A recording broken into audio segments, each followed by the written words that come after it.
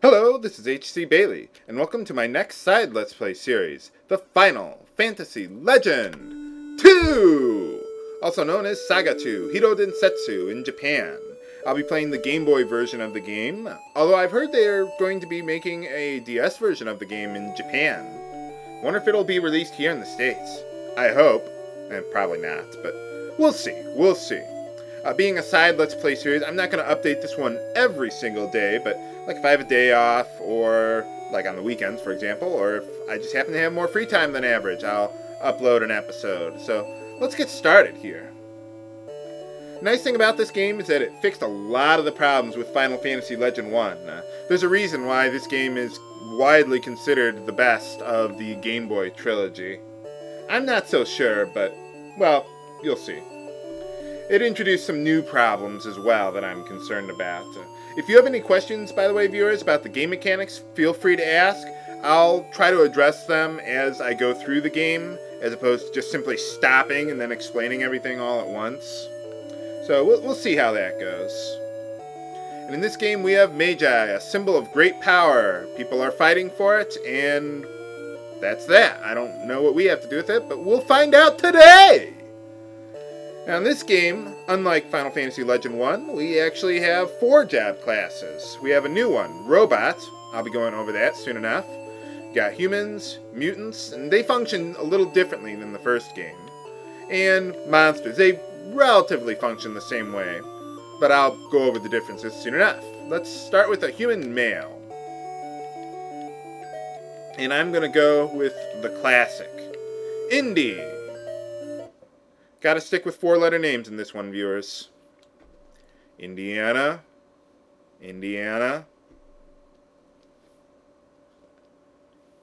Okay, Dad, you, you have my permission.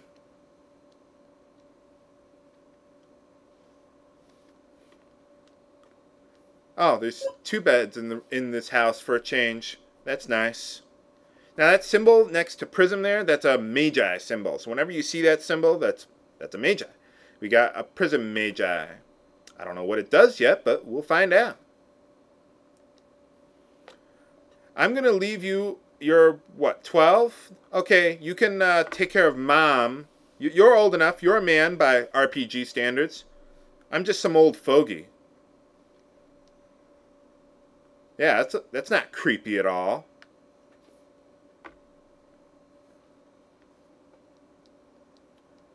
Oh, he's grown up now. Hey, Mom, uh, Dad actually left you all those years ago.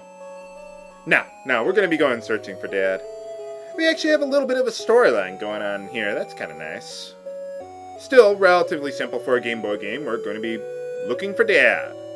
The old-fashioned way. You're adventurous like your father. That's what I'm afraid of.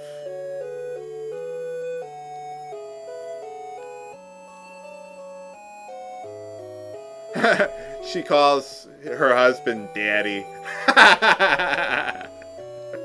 oh, I'm such a child. Who's your daddy?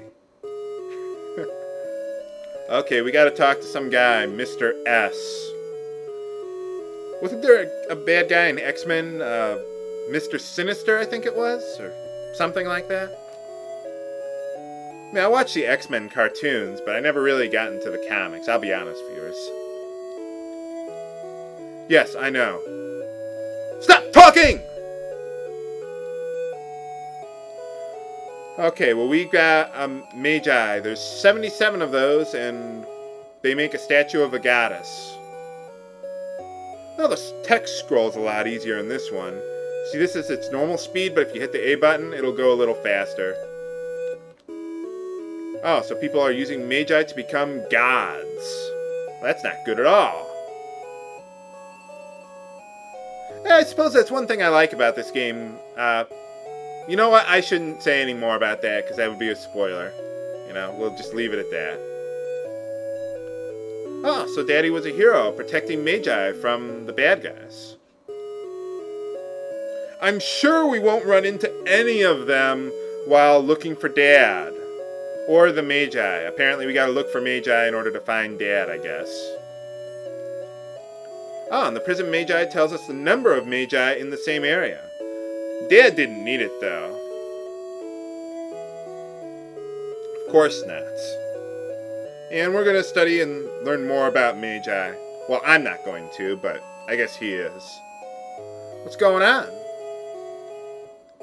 I'm surrounded! What do I do? No, no, these are our friends. We gotta take three party members with us, so I'm gonna take a pretty balanced party this time around. Now, as far as human and female, it's like the first game. You have a little more strength as a male, a little more agility as a female, but it's not really a huge difference, not nearly as big as the first one, so I don't think it really matters as much in this one. So I'm to go with a male mutant this time around, so that way I can give him an appropriate name. Pyro. Uh, even though he starts with an ice attack instead of the female who starts with a fire attack, but whatever. We've got robots, a new job class. They increase in power by their equipment, not so much by what they do in battle. I'm going to name him Lore. I thought about naming him R2, but there's no numbers in there. Ah, I just didn't think it would work too well, so Lore is good enough. And for my starting monster, I'm going to choose a baby dragon, because it'll allow me to get the transformation path that I want. And by the name I'm going to give it, you can guess what type of monster I'm going to be using throughout most of the game. okay, well, I guess we gotta get out of this valley and head through the Cave of the North first. See what other people have to say to us around here. Got any information? Have you seen Dad around? I mean, I know he left a few years ago, but who knows?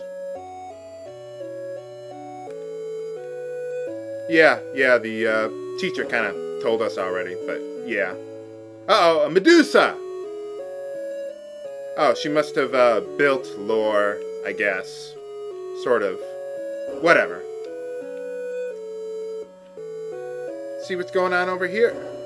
Yeah, all these houses have the parents, or adoptive parents, of our party members, so. And a butterfly gave birth to a dragon. Well, I suppose monsters can just transform into whatever they want in this game, so I guess that works. And uh, if you talk to your mom here, she'll restore your HP. So, there you go. Not your abilities, though, unfortunately. It's not like an inn, so... Nice thing about this game is that you can, uh, with, what is it, the stats you got there, whatever you do during battle will directly influence what stats you gain. Like Longsword will increase your will have a chance of increasing your strength at the end of battle. Uh, like Blizzard, for example, will give you a chance of increasing your mana in the game. It also depends on the level of the enemy you're fighting there. And that only works for uh, humans and mutants, by the way. Uh, monsters increase in strength by eating meat of other monsters, just like the first game. And Lore will gain strength depending on what he has equipped. And I'll go over that probably when we get to the next town. So don't worry, viewers. Soon enough. Soon enough. One fireball of a character, but hey, we get some cure potions. All right. How many do we get? Four. Excellent. We're going to want to hold on to those. Uh, this game, potions are actually remotely useful.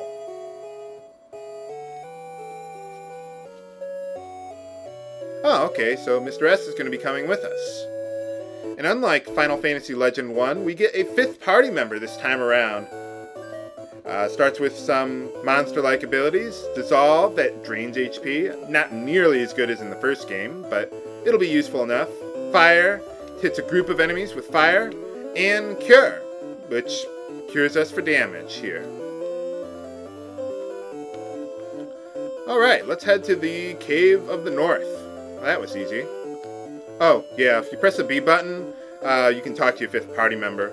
Press the select button, we ought to rearrange our party order. Put the people with the most defense up front, because they're going to be taking the most damage. They're going to be tanking. So, put your tank in the front. Literally. And figuratively. Nuts. Alright, to battle we go! Now, the nice thing about using weapons with the robot is that they will uh, recharge whenever you rest up at an inn, kind of like a mutant's or a monster's ability would in Final Fantasy Legend 1. So if you equip weapons on them, don't worry about using them because they'll just recharge anyway. Humans have a durability counter on them and they will run out eventually. Uh, same thing with mutants if you equip weapons or spells on them. Yeah, we got them. No, I don't want the goblins meat. We're going to be skipping that for now. So what awaits us on the other side of this cave? Find out next time on Let's Play Final Fantasy Legend 2! This is H.C. Bailly, signing off. Have a good day! Da -da -da